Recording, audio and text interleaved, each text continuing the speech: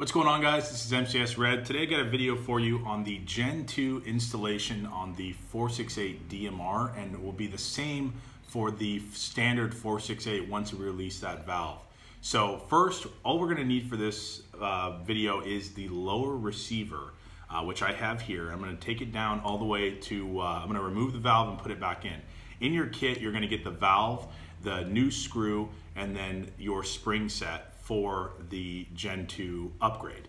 So it's already pretty much installed here, but I just want to remove it and put it back together to show you exactly how to get in here and remove. And then also, uh, if you need to do any maintenance or replace any parts, you can do that here.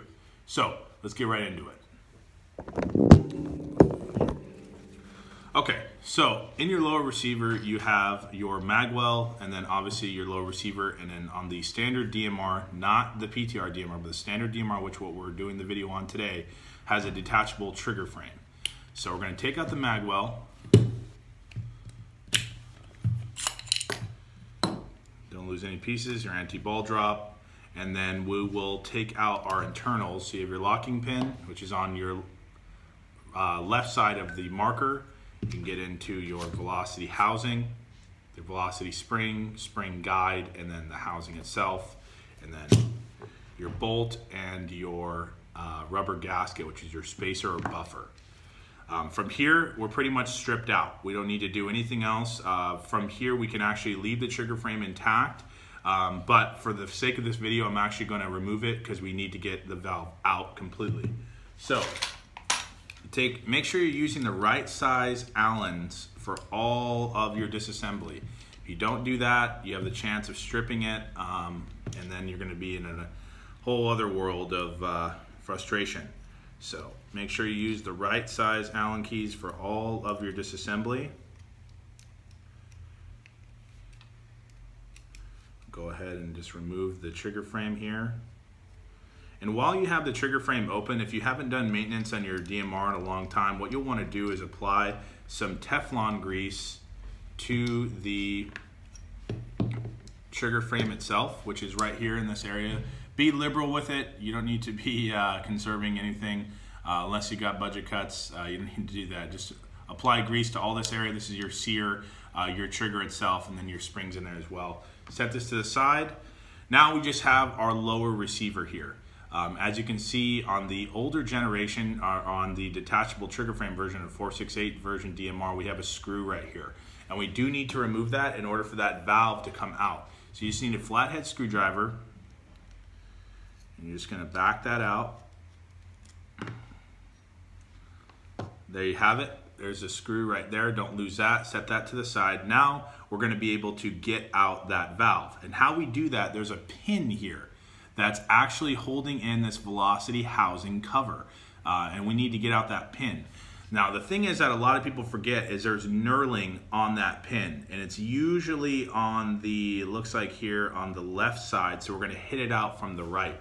And how you do that, you're just gonna get, if you have a punch, you can do that. If you don't, then um, obviously you'll need to use an Allen key of sort and get that out.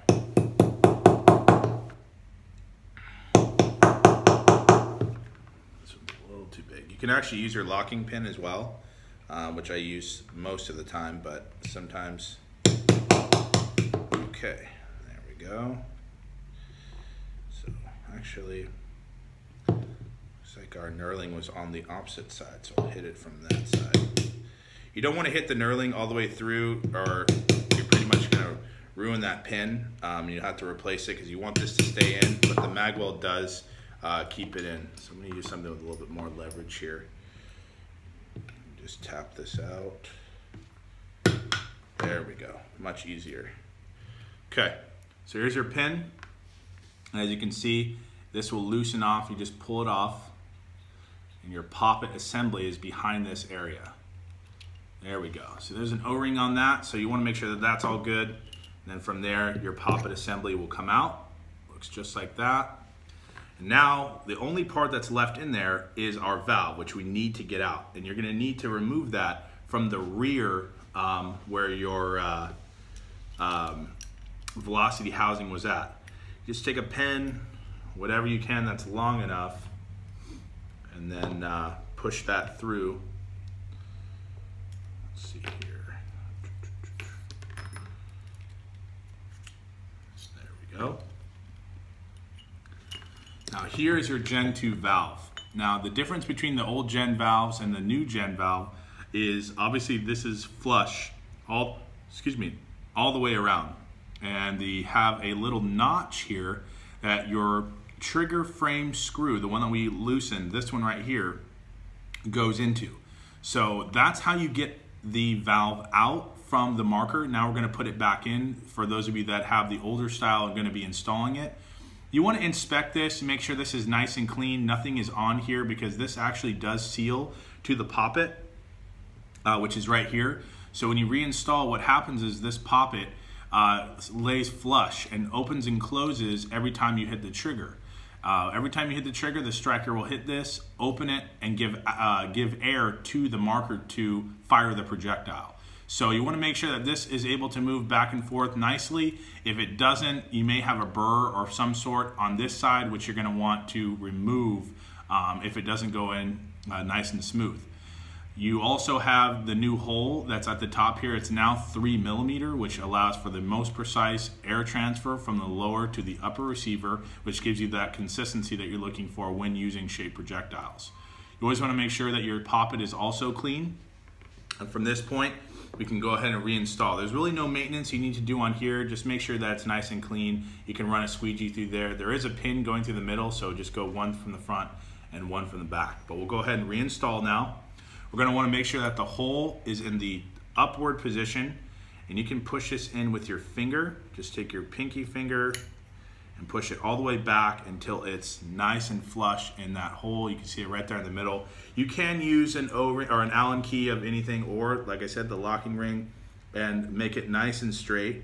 We want that uh, hole to be directly into that center so that way when we put our locking screw back in, which we're gonna do right now, it'll go right in that groove that I showed you. So go right in here. It's gonna go nice until this is nice and snug. We need to over torque it. Take our poppet assembly and we're gonna put that back in. Go ahead and uh, move our valve over just a little bit. It turned on us. Let's see here. Let's make sure that that goes over nice and straight. There we go. You can mess with that. You don't want to lose your upper and lower receiver seal. What I like to do is apply a little bit of super glue to one of the corners of that so that way it has it. Okay, poppet assemblies back in. Take our valve cover. We want to make sure that the leaf spring and the holes are facing down. push this in, there we go. Take our pin and put it in from the opposite knurling side. If your if your pin has knurling, you just do it from that opposite side. Tap it until it's nice and flush. We can go ahead and put our trigger frame back on first. Make sure that your you didn't lose your screws. Put that back on there. And I like to do the front screw first just for, uh, once you get it started, it'll allow you to, um, I'm using the wrong Allen here. It'll allow you to then set the rear um, screw into the hole nice and perfectly. So you can probably get it started with your finger and then just tighten it up with your Allen. Once again, these do not need to be over torqued. These just need to be um, set in there enough to nice and stiff. They do have a locking ring on them, so open to my Allen key I was using. There we go. Just tighten that down. There we go, nice and snug. Same thing with the front, nice and snug. Put our striker back in, put the,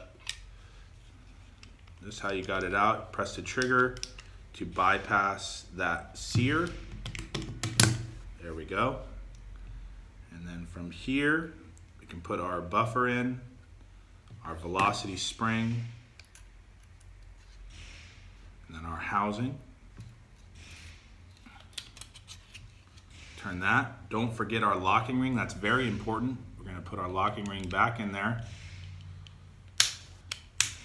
There we go. Then we'll add our anti-ball drop. And I like to do that by just uh, putting the anti-ball drop in first with the pin facing like that. Hold it with your index finger and then slide the magazine into the grooves on both sides. Push down the leaf spring and lock it into place. Don't let your finger get caught in there. Chinese finger trap right there. And then you just go make sure that that's working nice and by pushing it up and down. And that's it. It's your install. From that point, you can reassemble your upper receiver. Your striker should be in the rear position, which is where you want it. Uh, you can, when you reinstall your upper, make sure your bolt's in the forward position. That way, uh, you'll have that, it makes sure that it guarantees to go inside that track. Other than that, if you guys have any questions or concerns or looking to upgrade your old DMR to the new G DMR Gen 2 valve, you guys know where to find us. We'll see you guys out on the field.